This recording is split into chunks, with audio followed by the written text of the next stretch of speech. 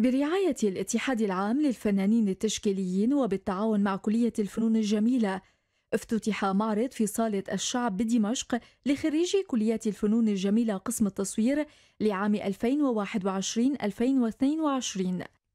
المعرض تضمن حوالي أربعين لوحة غالبيتها كانت بالألوان الزيتية جسدت كل معاني الإنسانية التي تؤثر في الذات البشرية وتعطي إحساسا بأن اللوحة تتكلم مجسدة أحاسيس الألم، التعب والقلق وغيرها من الأحاسيس التي تعطي تأثيرا معنويا لمن يشاهد تلك اللوحات.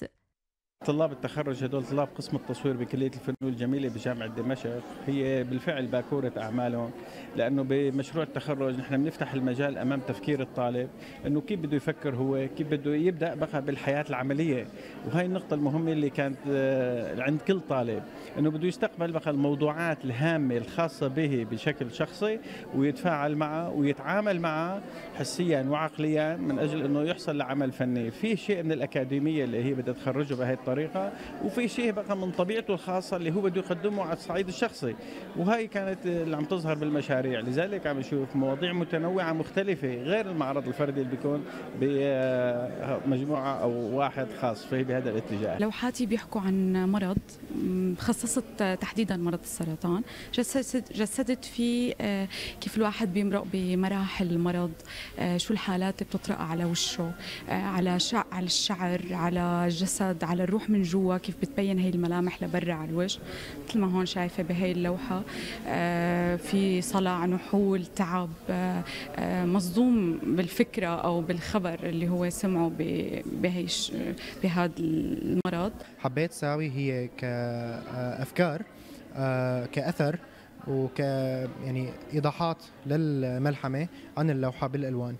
اخترت الألوان الترابية واستخدمت ألوان ترابية وطنية لحتى تعطي الإحساس آه، الكتيم تبع اللون والإحساس الغبرة تبع اللون اللي بيطلع على اللوحة. سميت مشروعي قلق فكانت محاولة تجسيد صعوبات الحياة اليومية من خلال أنه البلور الأشخاص الموجودين محيطين بالبلور المكسر هن ما قادرين يعملوا أي حركة ما قادرين يعملوا أي شيء. بنفس الوقت نحن وثابتين بمكاننا ما عم نعمل أي شيء فمعرضين لأي لحظة الشيء المستندين عليه أنه ينكسر ونحن أنه نوقع فأنه قدر الإمكان كنت عم بستخدم ألوان زيتية. مشروع التخرج كان بيحكي عن المنازل الأبدية اللي بتعطينا استقرار.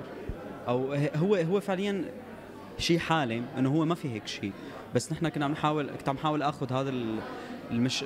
هذا الشعور البسيط اللي نحن بنحسه ولو للحظه آه، بضمن مكان ضمن شيء يكون أبدي. آه، ضمن ضمن حالات نوعا ما روحانية. مشروع التخرج كان هو اسمه تطهير، كان بدايته عن شخصيات آه، شبه واقعية آه، بتحكي عن حالة نفسية. آه، بدأت بداية الحالة النفسية تبان على على الخارج على ملامح الإنسان بداية. ومع الزمن صارت الشخصية تتجرد وتتكور على ذاتها جردتها. رغم كل الصعوبات التي واجهتهم المادية منها والمعنوية لم تلغي الانطباع الخاص الذي أظهرته تلك اللوحات لما حملته من معان وعواطف إنسانية جعلت كل من يشاهدها يرى جمال تمازج العناصر اللونية والجمالية في اللوحة لتعطي ارتياحا نفسيا داخليا.